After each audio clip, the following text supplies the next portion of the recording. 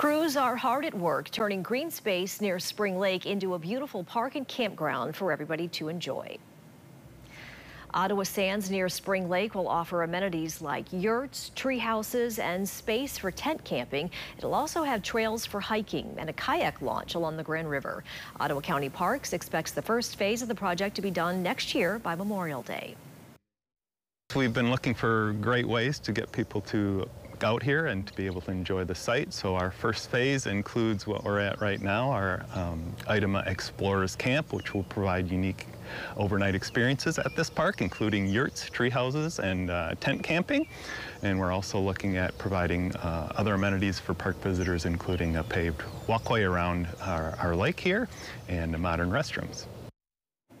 And you can read all about why the parks decided to add yurts and tree houses. We have those details up right now on our website.